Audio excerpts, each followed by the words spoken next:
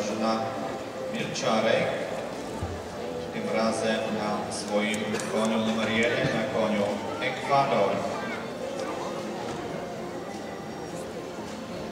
As the last Reuters class competitor for Poland, Katarzyna Milczarek, this time on Ecuador, 12-year-old Polish bred stallion. Ekwador to polski koń szlachetnie po Heraldik, z matki po Korofino.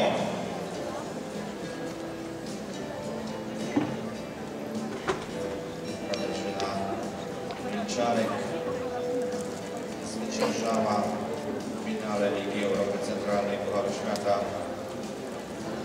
w latach 2009 i 2011.